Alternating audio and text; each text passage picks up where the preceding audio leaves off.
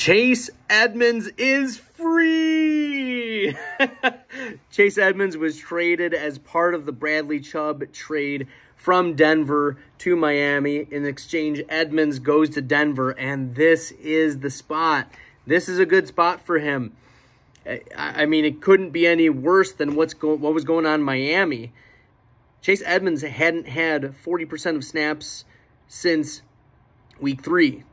So yeah, 26, 14, 37, 29, 25% of snaps. It just seemed like his role continued to decrease. He was even running fewer routes.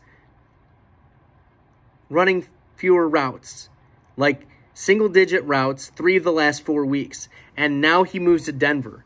Now, why is this Denver spot a really good one? Because Melvin Gordon, heck, was out carried by Latavius Murray this past week.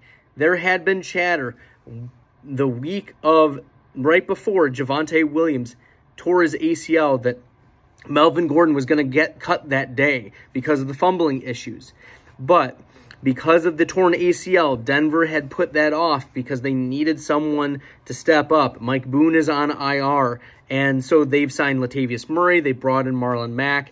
And so the Denver Broncos have just been trying to fill this need, waiting for an opportunity to uh, get a running back who is effective in the pass catching game, and that's uh, that is not as much Melvin Gordon. That fits Chase Edmonds.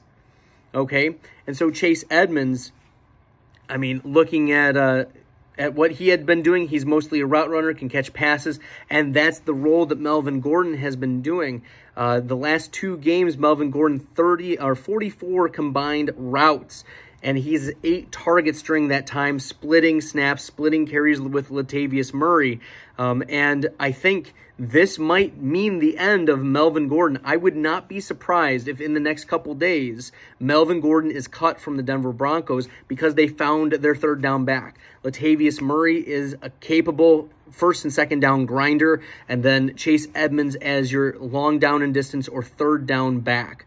So I think that Denver is solidifying their backfield in the light of all the injuries, Javonte, Mike Boone, etc., and them wanting to move on from Melvin Gordon, frankly. So Chase Edmonds, yeah, he can walk after the 2022 season, but right now Denver is focused on reclaiming this year um, so, yeah, I think that this means the beginning of the end for Melvin Gordon. We were already starting to see signs with Latavius Murray out carrying him this past week against Jacksonville. Now, Melvin Gordon is very much on the hot seat. As I said, I wouldn't be surprised if he's cut here in the next couple days. Chase Edmonds is uh, the third down back that Denver has wanted, and he's paid a pretty penny. So they're going to use him in this trade um, yeah, so that's what my take is moving forward. And of course, you know, Jeff Wilson gets traded from the 49ers to fill in for the, the role that they had hoped Chase uh, Chase Edmonds would fulfill, which, you know, is a change of pace, uh, splitting carries with Raheem Mostert.